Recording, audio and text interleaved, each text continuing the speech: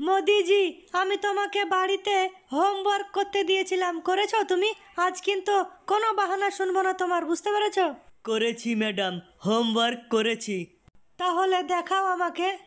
কি বুকার মতো কথা বলছেন ম্যাডাম জি হোমওয়ার্ক মানে হলো বাড়ির কাজ। আমি করেছি তো বাড়ির কাজ। আমি মোষের জন্যে ঘাস কেটে নিয়ে এসেছি, গরুর জন্যে নিয়ে এসেছি, ছাগলের জন্যে নিয়ে এসেছি, বাজার থেকে সবজি কিনে নিয়ে এসেছি। বাড়ির কাজ বাড়িতে করেছি। কি দেখাবো আমি আপনাকে?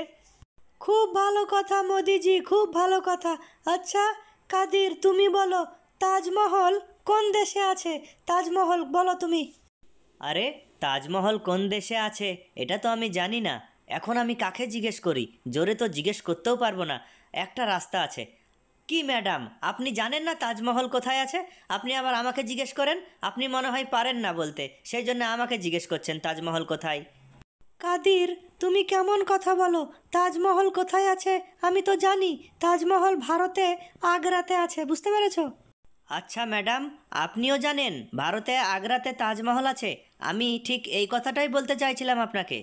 খুব ভালো, কাদির, খুব ভালো। আচ্ছা মমতা, তুমি বলো আতা গাছে তোতা পাখি, এই ছড়াটা পুরো বলো শুনি আমি।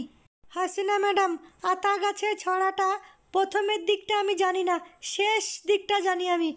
ঠিক আছে, তুমি শেষ দিকটাই বলো দেখি শুনি।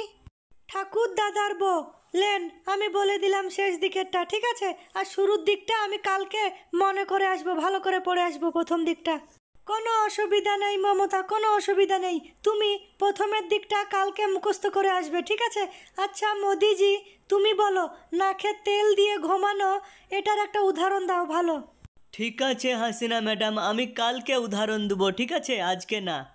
কেন? কি কারণে? আজকে কেন উদাহরণ দেবা না? কালকে কেন?